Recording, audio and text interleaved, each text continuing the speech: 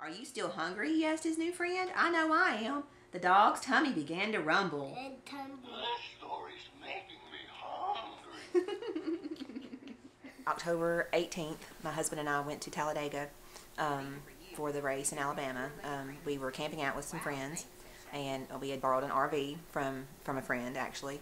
And um, we were there for the weekend. And so we got there Friday afternoon and cooked out, um, hung out with everybody, and then um, went to bed. And the next thing I remember, I woke up in the hospital at the University of Alabama um, in Birmingham. It was apparently carbon monoxide poisoning. The suspect is that the generator was faulty, and um, that's probably what happened. Um, and uh, my husband did not survive, but I did. And um, uh, I've been told many times over that, that it's a miracle I survived. There was a very short window of time that night um, to make a decision about what to do because all of my organs were failing. The doctors there at UAB um, decided to use a kind of unconventional um, uh, use of something called an ECMO machine. It's normally used for transplant patients. It does the work of your heart and your lungs for you. So they allowed my heart and my lungs to recover from the carbon monoxide poisoning. They weren't sure it would work, but he thought it would, and, and it did. So that's what saved my life. Um, they said I would probably would have died within a few hours if they hadn't have used that.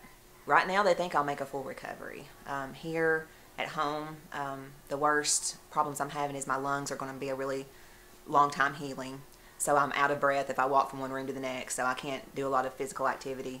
I'm taking uh, the grieving process one step at a time. And mainly because I've had so much focus on just getting healthy for myself, getting healthy enough to be home with my daughter. That's been my main focus. And so that part has been hard. It's, it's kind of at a distance to me because I didn't get to go to the funeral. It's still kind of unreal to me. I'm just thankful. I'm thankful to be here. You know, it's uh, it's overwhelming to think how close I was to, to, to, to not surviving that. And it, it scares me because I, you know, I, I want to be here for my daughter.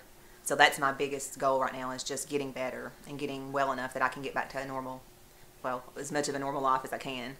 I love a good.